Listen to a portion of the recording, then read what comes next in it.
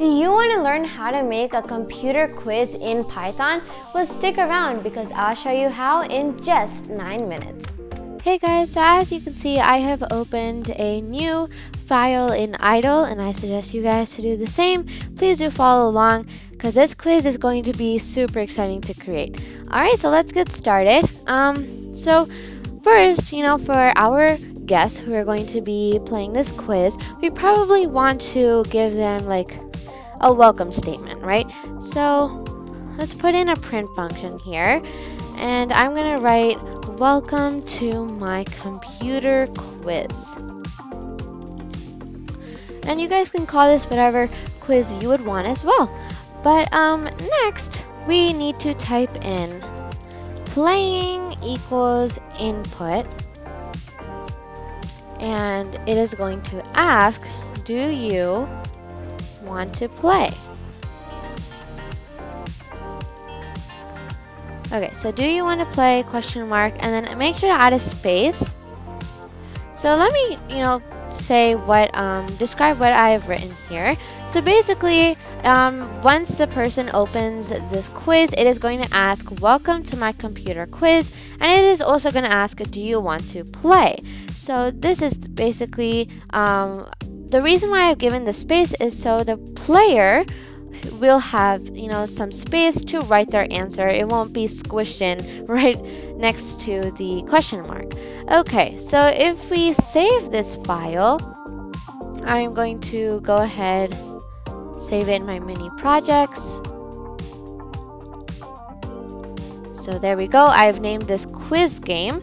And if we save it and run it as you can see, it will come up with the two statements. So welcome to my computer quiz. Do you want to play? And of course, um, if we type yes or no, it won't um, do anything because we haven't given any other code. So let's continue. So now we're going to write in an if statement. So if playing is not equal to yes, and add a colon. So this is saying, um, this is just an if statement. So it's basically saying if the person who is playing says is gives an answer to this question like that is not equal to yes, then it is going to quit the game. So as you can see, I have written quit empty parentheses. All right. Next, we're going to add in another print statement continuing on in this quiz. So if the person says yes, right, it is going to move on to this line of code and it is going to give the statement, okay, let's play.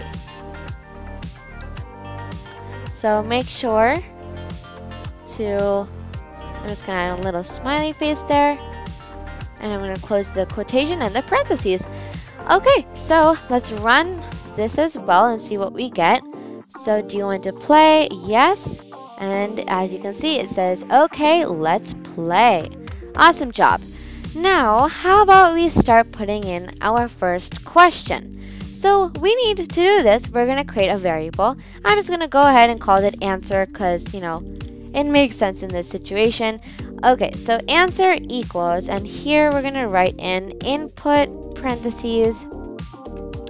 Um, our first question I'm just going to put in is the coding language Python. Oops, let me spell that correctly. Named after a snake.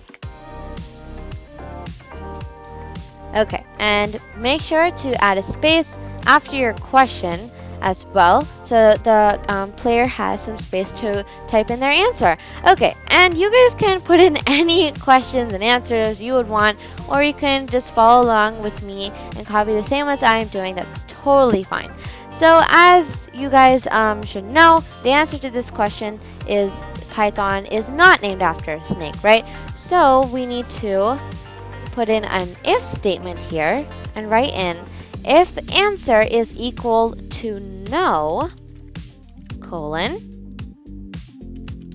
we need to put print out the word correct.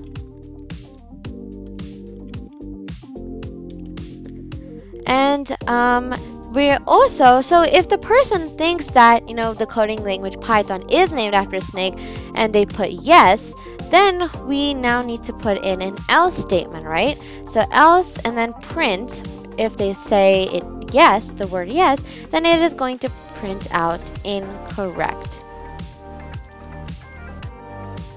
Let me add in punctuation. And there we go. You guys have put in coded your first answer here. So let's save this and run it. Okay, do you want to play? Yes. And is the coding language Python named after a snake? So it is not. And there we go. It says correct. Awesome job, everyone. So I actually do have like a few more questions. So I'm going to go ahead, open that file that I've created. Just copy and paste this into this. Copy paste. Alright, so go ahead and um, pause this video here. You are, please feel free to, you know, copy these questions as well. And you can also create your own. So um, basically the first or one of the questions here is what does CPU stand for? This is a acronym and it stands for, the answer is Central Processing Unit. The next one is what does GPU stand for? It stands for Graphics Processing Unit. And what does RAM stand for? It stands for Random Access Memory.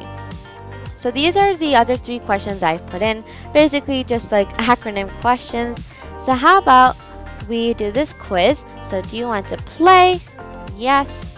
Is the coding language Python named after a snake? No. What does CPU stand for? Central Processing Unit. Make sure to spell that correctly. What does GPU stand for? Um, it stands for Graphics Processing Unit. What does RAM stand for? Random Access Memory. And there we go. You've successfully answered all of your questions correctly. Okay, how about we add on um, to this quiz? So let's make the computer track our score while we are playing. That sounds fun, right? Okay, so after, if you can see that we have this line right here saying, okay, let's play, go ahead and click enter. And right below that, we're going to write in score equals zero, right?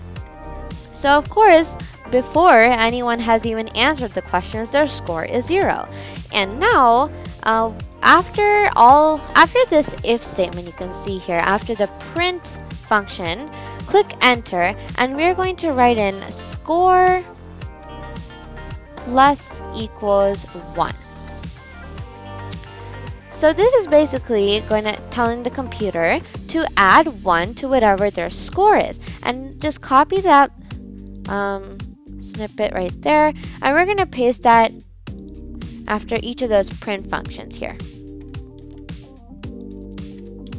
And there we go.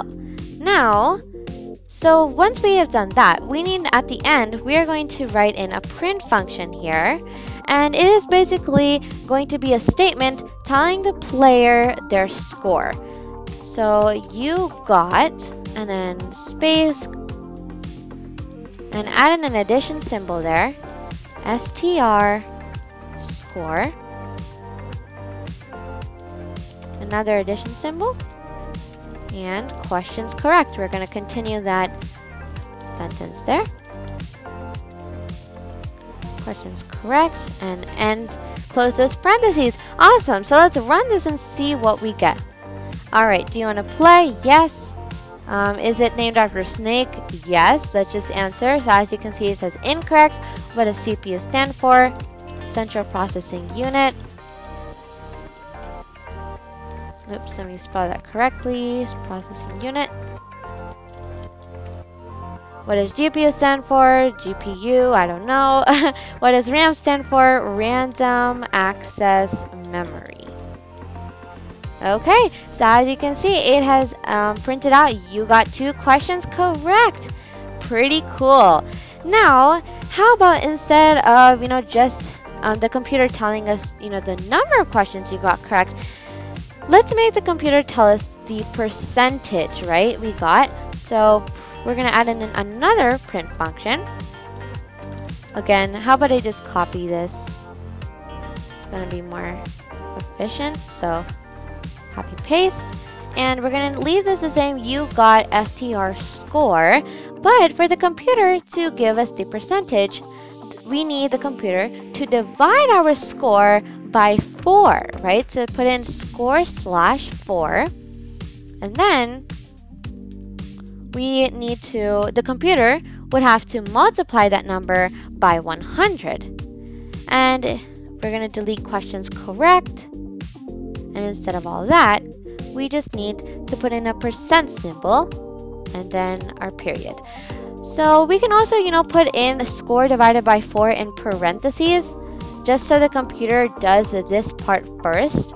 But even if we didn't do that, you can see that it would still give us the correct um, output we're looking for. So save this, run it. Yes, I'm just going to go ahead and put in random answers here. So CPU, um, RAM, just put in RAM. So as you can see, it says you got one question correct. So I got a 25%. So this was super fun. I hope you guys enjoyed it as well. If you did, go ahead and smash that um, thumbs up button. And please don't forget to subscribe. Keep an eye out on um, my channel on NPStation because I will be posting more you know, mini project videos that we can do together. But that's all for today, guys. Keep reading, keep coding, and stay safe.